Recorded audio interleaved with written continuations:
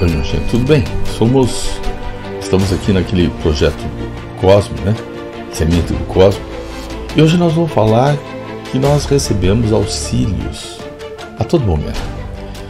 Nós estamos aqui, esses amigos espirituais estão aqui para nos ajudar a passar por esse momento difícil que o planeta está atravessando.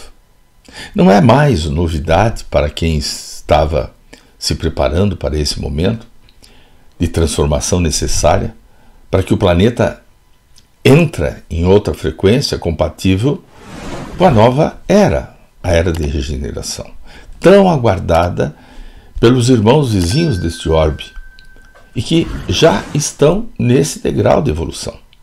As vibrações de amor que são enviadas para esse planeta têm auxiliado muito aos irmãos que já estão passando pelas mesmas provas coletivas e fortalecendo a todos que estão despertando e se propondo a ajudar encarnados e desencarnados através de preces e auxílios socorristas quando se encontram desprendidos da matéria durante o sono.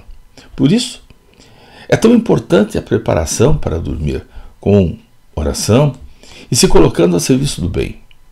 A quem se propõe ajudar, não faltará proteção da espiritualidade.